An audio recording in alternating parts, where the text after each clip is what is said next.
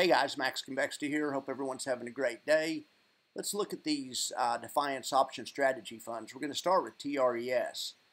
All right, well look at TRES. They Last week the price was going up of TLT. They sell TLT options. The price was going up and it was it just has to stay outside of this red box. This is the no-go zone for the TRES strategy. The green box is a profit box for a different strategy, a TLTW strategy. I track both of them. They both trade this fund. Anyway, well, the bad news for TRES holders is the price slipped and fell inside to the no go, inside of the no go zone. So now we're, we're now in a loss position on TRES. And that's unless the managers have rolled it out or done something. But the, as of the last time I checked, they haven't uh, they haven't made any adjustments to this position yet. I imagine they will soon, though. All right, so let's look at the other normal funds. The QQQY trades the NDX. Let's look at a chart of the NDX. All right. NASDAQ's had kind of a soft day today. It opened down.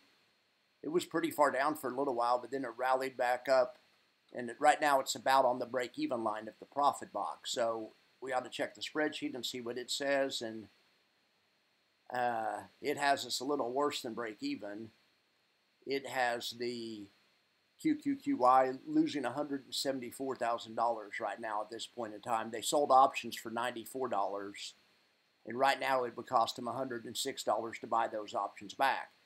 Anyway, the day still has a couple of hours left in it. We need the price to go up. We want the price to go up on this one and on the NASDAQ to finish somewhere above 17605 or something, and preferably as close to 17700 as possible. Hopefully we'll have a late day rally here. All right, here's IWMY. These guys trade Russell options. So first, let's check out Russell. Okay, so these guys are having a really weak day. They opened weak and they got even weaker, and now they're rallying. They're still way outside of the profit box. So that's going to be a full loss right now. No need to even check the spreadsheet, or we'll check it, but that's going to be a big loss.